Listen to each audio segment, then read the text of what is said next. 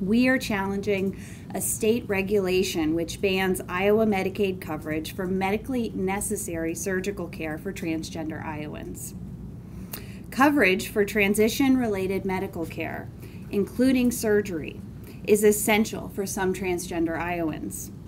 Every major medical association agrees that denying surgical care to transgender people who have a medical need for surgical care is dangerous and contrary to prevailing standards of care that were developed based on decades of research.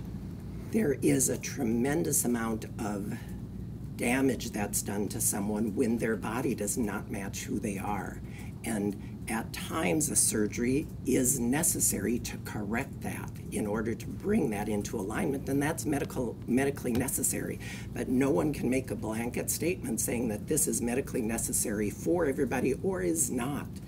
Um, people don't understand how, how very important this is. Um, the damage that is done with the depression, the panic, the anxiety, the suicide um, attempts or completions in being denied the care um, is costing people their own lives, let alone a quality of life, something we can simply address.